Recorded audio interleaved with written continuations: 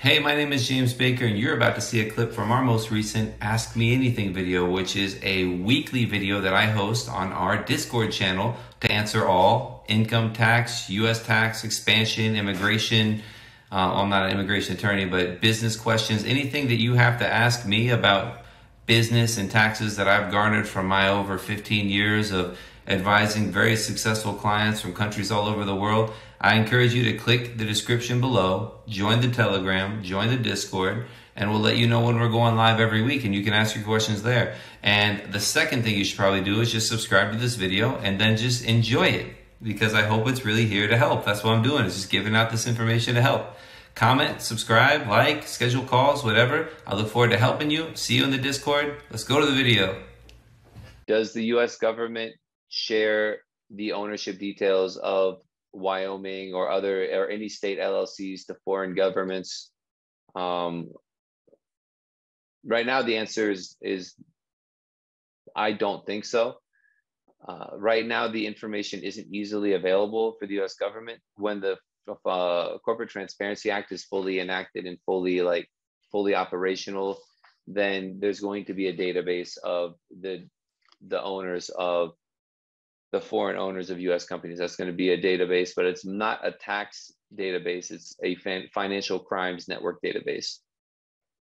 So if your country is suspecting you of financial crimes, they can contact the US and find out about your LLCs, but it's not an automatic from my understanding it's not an automatic database that everyone has access to and that's not that's not actually out yet.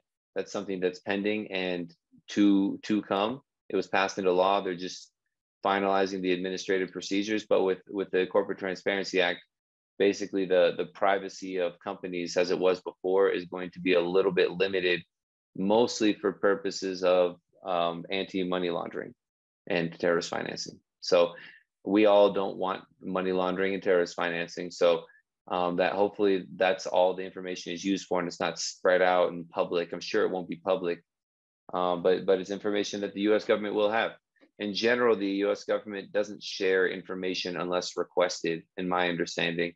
It's not, it's not like uh, most of these governments are pretty secretive with their information. And there's such a huge quantity of information. I don't even know how it would be disseminated or analyzed.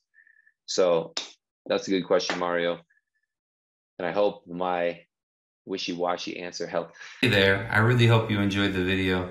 If you want more of this stuff, make sure you like and subscribe. And if you want to interact with me personally and join our weekly free calls that we have on the Ask Me Anything on Thursdays generally, click the, the description below and join the Discord and join the Telegram. I look forward to interacting with you and helping you grow your business, be more successful, and make more money.